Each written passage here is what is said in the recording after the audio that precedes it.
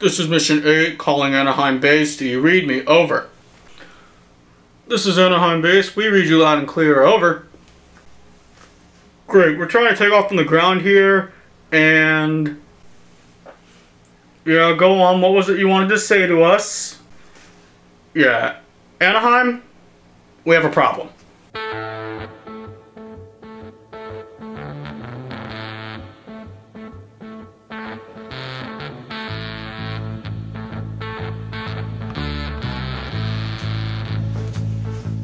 Hey everyone, this is Matt Rosoff here, welcoming you back to Game 8 overall in our fan reaction series. This is game one of a three game series against despised rivals Houston Astros. Now you might remember the Astros for the cheating that they did uh, in 2017 when they were banging when they were banging on trash cans and apparently and allegedly wearing buzzers. There was a whole story about Jose Altuve who hit that walk-off home run against Aroldis Chapman in the uh, ALCS last year in Houston. He was apparently, we thought that he might have been wearing a buzzer like somewhere around here in his jersey. I think he was. It was never proven though. But just because I hate the Astros, I'm going to say it was. Let's talk about the game now a little bit, shall we? Lance McCullers would pitch for the Astros, and the Angels would send out Matt Andriese, a free agent acquisition from the Arizona Diamondbacks that we got in the offseason. No team would score in the first inning, but Matt Andriese got himself into some trouble and he gave up four runs in the top of the second inning. And just like that, folks, four to nothing Houston. A side note, I just read that Mike Trout and his wife, they had their baby boy on July 30th at 5:10 p.m. So let's give a huge congrats to the Trout family. Well done and congratulations. All right, now back to baseball highlights. It would still be 4 to nothing Astros heading to the bottom of the third inning when with runners on first and second, Anthony Rendon stepped up to the plate and he drilled an RBI single into the outfield, getting the Angels on the board 4 to 1. Houston. So that would be the only scoring that the Angels did in the bottom of the third. And the Astros would go to the top of the fourth inning and they would gain a run back. Well, they basically stole a run with Kyle Tucker on base getting a steal of second and then a steal of third and then scoring on a shallow sac fly with a mediocre throw from center fielder Marco Hermosillo. So now the score is 5 to 1 Houston. Jason Castro, our catcher, will lead it off for us in the bottom of the fourth inning. He would swing at the first pitch he sees from McCullers, rip it into left field, and there he goes, and he screws screaming into second with a leadoff double. Now with one out in the inning, David Fletcher steps up to the plate. He rips the ball into left field. There goes Kyle Tucker. Can he make the catch? Very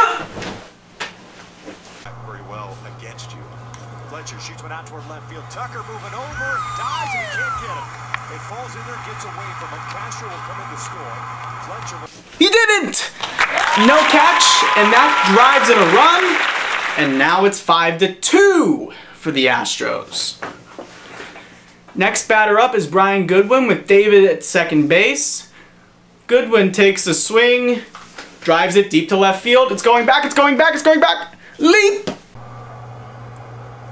Goodwin shoots one out towards center field, chasing Springer back, racing back to the wall, leads up, did he get it? No, he loses the glove, it's a big fly for Brian Goodwin. Two-run shot. Oh, he didn't make the catch, that's a home run. Goodwin with a home run. Three runs scored in this inning, that's a two-run homer. And now the Angels are within one, five to four Astros. In the top of the fifth inning, the Angels would bring in Keynan Middleton to pitch after relieving Cam Bedrosian, who had relieved Matt Andriese after only going one and two-thirds innings. So, so Middleton here in the fifth. First two batters he faces, first a double given up to Alex Bregman, and then a single to Brantley, advanced to second on the play. Runners second and third for Houston. No outs to bring up a guy who has destroyed the Angels in the time he has played us in Yuli Gurriel, and he drives a sac fly deep into center field. No chance for Hermosillo to even try to make a strong throw to the plate. So the Astros get another run back, and now they lead it by a score of 6 to 4. Bruh. It would go to the top of the seventh inning with no team scoring in the sixth.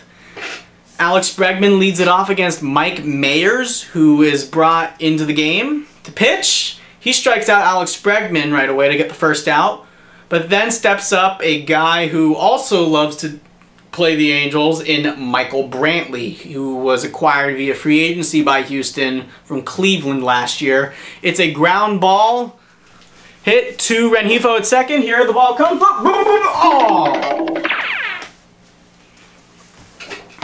Can't make the catch or the or the fielding play. And that will go as an error on Rengifo and Brantley is aboard. The bases will become loaded, so all the bases full after a single and a walk. Maddon is out of the dugout, goes to the bullpen, and he will bring in Hobie Milner to pitch, and he gets up a two-run hit. Eight to four, Houston. In the bottom of the seventh inning, the Astros go to the bullpen and they bring in young reliever by the name of Bryan Abreu. No relation to Jose Abreu of the White Sox or former Angel Bobby Abreu. Abreu walks the first two batters that he faces and then facing Luis Rengifo. Enoli Paredes was brought in to relieve Bryan Abreu because Bryan Abreu apparently suffered a finger blister. Ouch! And that's usually pretty bad when that happens. So Paredes in, he faces Rengifo. Rengifo hits a grounder to Altuve. Here comes the ball. Oh. That's an error on Altuve, another E4 in the game. And this scores Shohei Ohtani from second base, and Justin Upton goes to third on the play, and now the Angels get one back. It's 8-5. We go to the top of the eighth. No scoring for Houston there. So bottom of the eighth inning with Enoli Paredes still pitching for Houston. Brian Goodwin swings. He drills an RBI triple. Here he goes. Woo, woo, woo, He goes all the way to third on the play. And that scores another run. Eight to six. That's pulled into the right field. That's going for extra bases. Fletcher had a good jump. He'll head to third base. He's probably going to be sent home. Butterfield waving him home. He's going to score. Good. On his way to third. He's got himself an RBI triple. It's eight to six. The bases would be loaded again for Houston in the top of the ninth inning with two walks and a single. So Kyle Keller gets pulled and they bring in another pitcher, do the Angels. Altuve is up at the plate. He grounds into a fielder's choice. It's an RBI fielder's choice, so Houston does get another run here. And now they get their run back again, and it's 9 to 6. It goes to the bottom of the ninth inning. They went to another young, like a rookie minor leagueish reliever by the name of Andre Scrubb. We get two batters on base with him and with just one out. But then, my friends, come on, get another run at least. Walsh hits a ground ball. It looks like it's going to go through. It doesn't. Correa makes the running fielding play, throws the ball over to Yuli Gurriel at first, and folks, that's your ball game.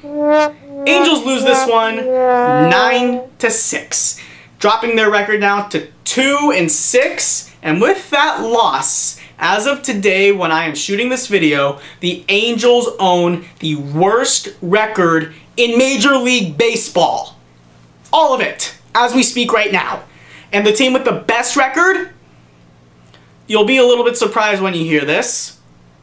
The Seattle Mariners! Of all teams! How? Man. So, that is it. Let me know what you think in the comments below. This reaction, tell me, hey, you look weird, or you can roast me about the Angels. You could, if you're a Dodgers fan watching this video, you could say, oh, go Dodgers and the Angels suck. Well, I know the Angels are kind of a bad team, but you got to give them credit for trying their best. Houston is relentless, and they are really good. All right, guys, that's it. Have a good day. Stay safe. Go Angels.